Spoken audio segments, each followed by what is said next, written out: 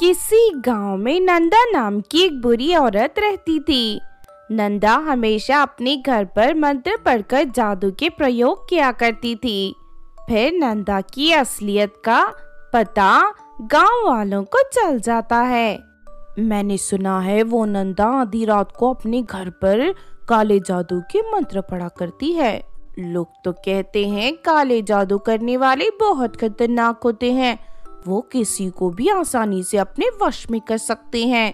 हमें नंदा को गाँव से भगाना होगा, वरना कल को उसने गाँव वालों पर काला जादू करना शुरू कर दिया तो हम में से कोई नहीं बचेगा। तो फिर सोचना क्या, चलो आज ही उस नंदा को मार के इस गाँव से बाहर भगा देते हैं। फिर रात होते ही गाँव के सभी लोग नंदा के घर पहुँच जाते हैं। नंदा उस समय खोपड़ी के ऊपर नींबू रखकर मंत्र पढ़ रही थी। ये देख गाँव वालों को बहुत गुस्सा आता है और वो सभी नंदा को पकड़कर रस्सियों से बाँध देते हैं। हम तेरे जैसी दुष्ट औरत को एक पल भी गाँव में नहीं रहने देंगे। चलो इसी वक्त गाँव से बाहर भगाओ। इसे भगाने से कोई फ़ायदा नहीं होगा। मैं तो कहती हूँ, हम सब इसे जान से मार देते हैं। उसके बाद ही हम सबको सुकून से रह सकेंगे। देखो, तुम सबको गलत फहमी हुई है। मैं तो लोगों की भलाई करने के लिए मंत्र सीख रही हूँ। मेरा यकीन करो, मेरे इरादे बिल्कुल नेक हैं। लेकिन गाँव वाले नंदा की किसी बात पर यकीन नहीं करते। उसके बाद वो सभी लोग उसे गहरी नदी में फेंक देते हैं। दूसरी तरफ़ पानी का भाव नंदा को एक घने जंगल में ले जाता है। उसके बाद किसी तरह नंदा बच के नदी से बाहर निकल जाती है। उधर नंदा को नदी में फेंकने के बाद सभी लोग राहत की सांस ले रहे थे। लेकिन फिर कुछ दिनों बाद अचानक उस गाँव में खतरनाक जादूगरनी आ जाती है। वो जादूगरनी गाँव के सभी बच्चों को इकट्ठी करके उन्हें आइसक्रीम खिलाने लगती है। आइसक्रीम खाते ही सभी बच्चे बेहोश हो जाते हैं। उसके बाद वो जादूगरनी उन सभी बच्चों को अपनी गाड़ी में बांधकर उन्हें दूर घने जंगल में ले जाती है। अचानक गाँव के सभी बच्चे गायब होने से गाँव वाले बुरी तरह घबरा जाते हैं। हे भगवान, मेरी बेटी अचानक कहाँ गायब हो गई? मेरी बेटी के सिवा मेरा इस दुनिया में कोई नहीं था। मेरे दोनों बच्चे गायब है, पता नहीं वो दोनों किस साल में होंगे। देखते ही देखते पूरे गाँव में मातम का माहौल फैल जाता है और सभी लोग अपने बच्चों के लिए दुखी होकर रोने लगते हैं। उसके बाद सभी गाँव वाले अपने बच्चों को ढूँढने के लिए जंगल की ओर निकल जाते हैं। तभी रास्ते में उनकी मुलाकात नंदा से होती है। नंदा को ज़िंदा देख सभी गाँव वाले हैरत में पड़ जाते हैं। अरे, क्या हुआ? आप सब लोग इस तरह दुखी क्यों हो? हमारे गाँव के सारे बच्चे कहीं लापता हो गए हैं। हम उन्हें ही ढूंढ रहे हैं। ज़रूर इसके पीछे किसी शैतानी ताकत का हाथ है। आप लोग मुझे एक दिन का समय दीजिए। मैं अपने मंत्रों की शक्ति से सारे बच्चों का पता लगा लूँगी। उसके बाद नंदा एक तालाब के किनारे चली जाती है। फिर वो एक बड़ी झाड़ू तैयार करके उसे तालाब के पानी में डुबाते हुए मंत्र पढ़ने लगती है। सुन जादुई झाड़ू मुझे इस वक्त गाँव से लापता हुए बच्चों के पास ले चल। उसके बाद वो जादुई झाड़ू नंदा को जंगल के पूरब दिशा में ले जाती है। वहाँ एक बहुत बड़ा खेत था। उस खेत का नज़ारा देख नंदा की आँखें फटी की फटी रह जाती हैं। खेत के अंदर सभी बच्चों का आधा शरीर ज़मीन में दबा हुआ था और वो सभी ज़ोर ज़ोर से रो रहे थे। नंदा आंटी, हमें बचा लीजिए एक बुरी जादूगरनी ने हमें यहाँ मिट्टी में दबा दिया। कल सुबह तक हम सबके शरीर पौधों के रूप में बदल जाएँगे। नंदा उस लड़की के हाथ पकड़कर उसे बाहर निकालने की कोशिश करती है, लेकिन तभी जोरदार बिजली का झटका लगता है और वो नीचे गिर जाती है। फिर अगले ही पल जादूगरनी वहाँ प्रकट होकर हंसने लगती है। अच्छा तो तू इन बच्चों को बचाने आई है, बेवकूफ़। अब मैंने कोई नहीं बचा सकता। कल सुबह इन सभी बच्चों का शरीर जादुई पौधों में बदल जाएगा। उसके बाद मैं जादुई पौधों को, परी देश की शैतानी परियों को बेच दूँगी। जादूगरनी की बात सुनकर नंदा को बहुत गुस्सा आता है और वो ज़ोर ज़ोर से मंत्र पढ़ने लगती है। फिर अगले ही पल ज़मीन के अंदर से एक बड़ा सा बिच्छू बाहर निकलकर जादूगरनी पर हमला कर देता है। अरे, मर गई रे, ये औरत तो मुझसे भी ज़्यादा शक्तिशाली निकली। अरे, कोई बचाओ मुझे। तभी नंदा की जादुई झाड़ू जादूगरनी की जादुई छड़ी को तोड़ देती है। उसके बाद वो बिच्छू जादूगरनी को मार मार कर उसे पूरी तरह खा जाता है। जादूगरनी के मरने के बाद उसकी शक्तियों का असर खत्म हो जाता है और वो सभी बच्चे ज़मीन के बाहर निकल आते हैं। उसके बाद नंदा उन सभी बच्चों को गाँव ले जाती है। अपने बच्चों को सही सलामत देख सभी गाँव वाले बहुत खुश होते हैं और नंदा से अपने किए की माफ़ी मांगने लगते हैं। इस तरह सब कुछ ठीक हो जाता है। उस दिन के बाद से नंदा फिर से गाँव में हँसी खुशी रहने लगती है। एक बार की बात है, किसी गाँव में कंचन नाम की लड़की अपनी छोटी बहन विमला के साथ रहती थी।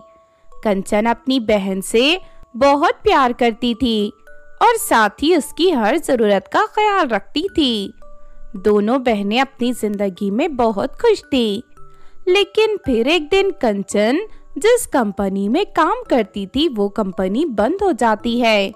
फिर आमदनी रुकने से कंचन के घर की आर्थिक स्थिति पूरी तरह बिगड़ जाती है। दीदी, मैंने पिछले दो महीने से कॉलेज की फ़ीस नहीं भरी। अगर इस हफ़्ते मैंने कॉलेज की फ़ीस जमा नहीं की तो मुझे कॉलेज से निकाल दिया जाएगा। तुम तो जानती हो, हमारी प्रिंसिपल कितनी सख्त है। मैं कई दिनों से नई नौकरी ढूँढने की कोशिश कर रही हूँ, लेकिन कहीं बात नहीं बन रही। आज भी मैं कई जगह इंटरव्यू देने जा रही हूँ। शायद आज मुझे कहीं नौकरी मिल जाए तो बात बन जाए। उसके बाद कंचन इंटरव्यू देने चली जाती है। लेकिन सारा दिन इंटरव्यू देने के बाद भी कंचन को कहीं नौकरी नहीं मिलती। फिर थक हार कर कंचन अपने घर की ओर लौटने लगती है। तभी उसे एक आदमी दिखाई देता है। वो ठेले पर नींबू शरबत बेच रहा था। उस आदमी को देख कंचन भी नींबू शरबत बेचने का फैसला करती है। फिर अगले दिन कंचन अपनी एक रिश्तेदार से कुछ पैसे उधार लेकर नींबू शरबत बेचने का काम शुरू कर देती है। धीरे धीरे कंचन की मेहनत रंग लाती है और उसका व्यापार चल पड़ता है। सभी लोगों को उसका बनाया हुआ नींबू शरबत बहुत पसंद आता है। इस तरह एक दिन कंचन नींबू शरबत बेच रही थी। तभी उसके पास रीटा नाम की एक औरत आती है। तो सुन लड़की, आज मेरे घर पर मैंने एक पार्टी रखी है। मैंने तुम्हारे नींबू शरबत के बारे में बहुत तारीफ़ सुनी है। इसीलिए मैं चाहती हूँ कि तुम मेरे घर चलकर मेहमानों को नींबू शरबत पिलाओ, बदले में मैं तुम्हें पूरे दस हज़ार रूपए दूँगी। रीटा की बात सुनकर कंचन खुश हो जाती है और फ़ौरन अपना सारा सामान लेकर उसके घर पहुँच जाती है। लेकिन रीटा के घर पर किसी को भी ना देख कंचन को बड़ी हैरानी होती है। तुमने तो कहा था तुम्हारे घर पर ढेर सारे मेहमान हैं, लेकिन यहाँ तो कोई दिखा नहीं देता। लेकिन रीटा कंचन की बात का कोई जवाब नहीं देती और ज़ोर ज़ोर से हंसने लगती है। अरे बेवकूफ़, मैंने तुझसे झूठ कहा था। मैंने तेरा सौदा इंसानों को खाने वाली एक चुड़ैल से कर दिया है। कल मैं तुझे और चुड़ैल के हवाले कर दूँगी। तब तक तो इस मटके के अंदर कैद रहेगी। इतना कहकर रीटा कंचन के सर पर एक जादुई छड़ी से वार कर देती है और अगले ही पल कंचन का शरीर बहुत छोटा हो जाता है। उसके बाद रीता कंचन को पकड़कर मटके के अंदर कैद कर देती है। दूसरी तरफ़ रात होने के बाद विमला अपनी बहन को ढूँढने घर से बाहर निकल जाती है। तभी उसे लोगों से पता चलता है कि रीटा कंचन को अपनी साथ ले गई है। फिर इसी तरह विमला रीटा को घर पहुँच जाती है। सुनिए आंटी, मैंने सुना है आज आपके यहाँ पार्टी थी और अपनी मेहमानों को नींबू शरबत पिलाने का काम मेरी बहन को सौंपा था। रात हो गई है, अब तक मेरी बहन घर नहीं आई, इसीलिए मैं उसे ढूंढते हुए यहाँ आई हूँ। तुम्हारी बहन तो शाम को ही यहाँ से वापस चली गई है। दूसरी तरफ़ मटके के अंदर कंचन अपनी बहन की आवाज़ सुन लेती है और उसे ज़ोर ज़ोर से पुकारने लगती है। लेकिन कंचन की आवाज़ विमला तक नहीं पहुँच पाती। दूसरी तरफ़ उदास होकर विमला वहाँ से चली जाती है। फिर विमला अपनी बहन को ढूंढती हुई पास के जंगल में पहुँच जाती है। तभी अचानक दो बदमाश उसे तंग करने लगते हैं। उन दोनों को देख विमला घबराकर ज़ोर ज़ोर से रोने लगती है। लेकिन तभी चांदनी नाम की एक परी वहाँ प्रकट हो जाती है। चांदनी परी उन दोनों बदमाशों के बालों पर आग लगा देती है, जिससे वो दोनों घबराकर वहाँ से भाग जाते हैं। फिर विमला चांदनी को अपनी बहन के बारे में बताकर उसे मदद मांगती है। चांदनी परी विमला को हवा में उड़ाकर बादलों के ऊपर मौजूद अपनी जादुई लीची के घर में ले जाती है। घर के कमरे के कोने में बहुत सारी जादुई लीची रखी हुई थी। चांदनी एक लीची उठाकर उसके ऊपर कंचन का नाम लिख देती है। अब ये जादुई लीची हमें तुम्हारी बहन तक पहुँचा देगी। उसके बाद जादुई लीची हवा में उड़ती हुई रीटा के घर में रखे मटके के पास चली जाती है। दूसरी तरफ़ लीची का पीछा करते हुए चांदनी और विमला भी वहाँ आ जाते हैं। तभी मटके के अंदर मौजूद कंचन उन दोनों को दिखाई देती है। अरे, कौन हो तुम? और तुम दोनों यहाँ क्या करने आई हो? मैं तुझे तेरे बुरे कर्मों की सजा देने आई हूँ। अरे, बेवकूफ़, तू मेरा कुछ नहीं बिगाड़ सकती। इतना कहकर रीटा अपनी जादुई छड़ी उठा लेती है। लेकिन तभी चांदनी परी अपनी शक्ति से रीटा की छड़ी को मोम की तरह पिघला देती है। उसके बाद चांदनी रीटा को बंदरिया बनाकर उसके गले में एक जादुई पट्टा पहना देती है।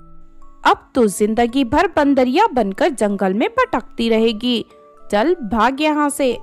इतना कहकर चांदनी परी बंदरिया बनी रीटा को उठाकर घर से फेंक देती है। उसके बाद चांदनी मटके में कंचन को बाहर निकालकर उसे उसके असली रूप में ला देती है। अब तुम दोनों को ढेर सारी जादुई लीची दूँगी, जिसकी मदद से तुम दोनों की गरीबी दूर हो जाएगी। उसके बाद चांदनी दोनों बहनों को अपनी जादुई लीची घर में ले जाती है और उन्हें ढेर सारी जादुई लीची देकर वहाँ से विदा कर देती है। उसके बाद कंचन और विमला अपने घर पहुँचते हैं। तो सभी जादुई लीची सोने के रूप में बदल जाते हैं। फिर सोने को बेचकर दोनों बहनें अमीर बन जाती हैं। इस तरह सब कुछ ठीक हो जाता है और वो दोनों हँसी खुशी अपना जीवन जीने लगते हैं। बहुत पुरानी बात है। किसी गाँव में आलिया और नैना नाम की दो बहनें रहती थी। उन दोनों के बचपन में ही उनके माता पिता की मौत हो गई थी। जिस वजह से वो दोनों अपनी चाची नम्रता के घर पर रहती थी। दूसरी तरफ़ आलिया और नैना के कॉलेज में रूबी नाम की एक बुरी लड़की पढ़ती थी। रूबी कराटे जानती थी, जिस बात का फ़ायदा उठाकर कॉलेज की दूसरी लड़कियों को सताया करती थी। फिर एक दिन नैना और आलिया बाज़ार से केक और आइसक्रीम खरीदकर अपने घर की ओर जा रही थी। तभी रूबी उन्हें देख लेती है। अरे वाह, ये दोनों तो आइसक्रीम और केक लेकर जा रही हैं। अभी जाकर इनसे सारा सामान छीन लेती हूँ। फिर रूबी उन दोनों का रास्ता रोककर उन्हें धमकी देने लगती है। चलो सारा सामान मेरे हवाले कर दो, वरना मैं तुम दोनों के दांत तोड़ दूँगी। नहीं नहीं, ऐसा मत करो रूबी। आज नैना का जन्मदिन है। हमने बहुत दिनों से पैसे जमा करके रखे थे ताकि हम केक और आइसक्रीम खरीद सके। हाँ रूबी, दया करके हमें जाने दो। बकवास बंद करो, मैं कुछ सुनना नहीं चाहती।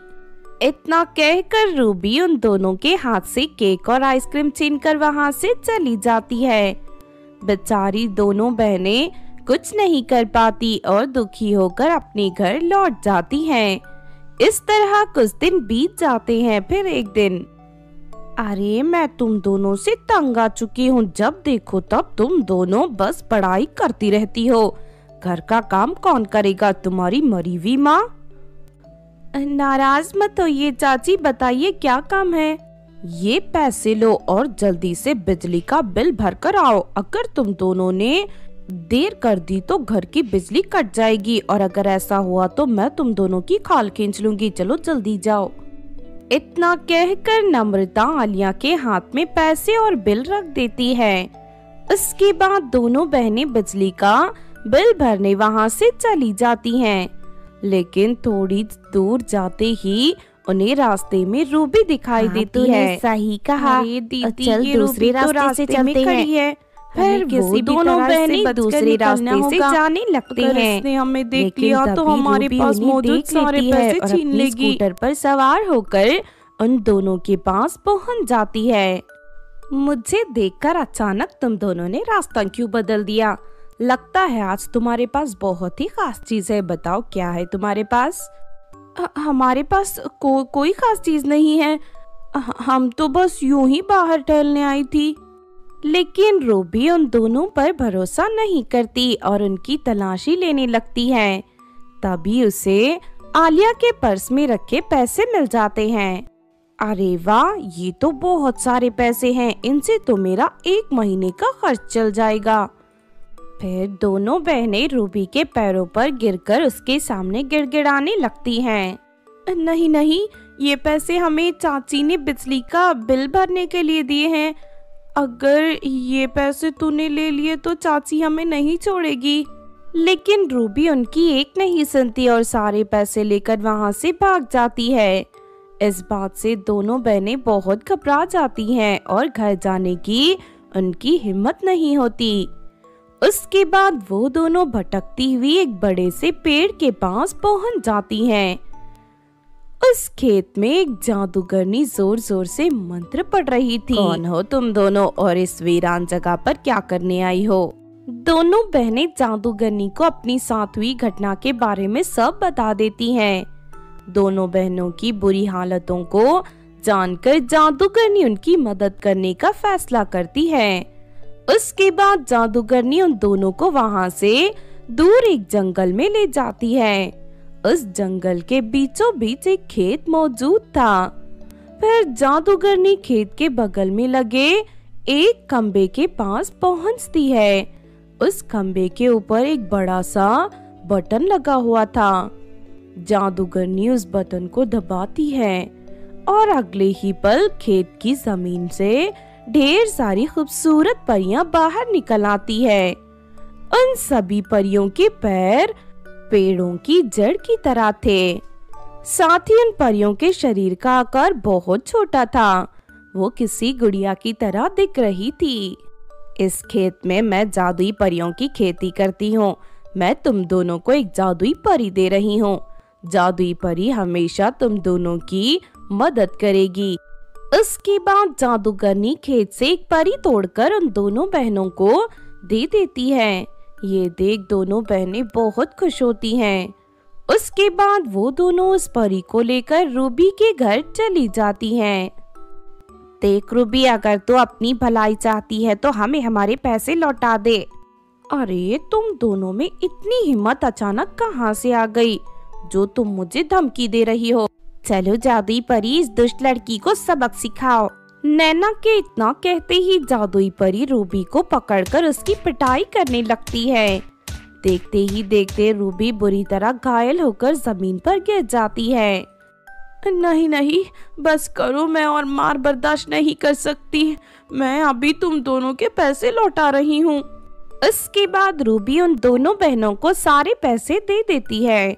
उसके बाद वो दोनों बिजली का बिल भर के अपने घर चली जाती हैं। इस तरह सब कुछ ठीक हो जाता है और उस दिन के बाद से वो जादुई परी हमेशा उन दोनों बहनों की मदद करते हुए उनके साथ रहने लगती है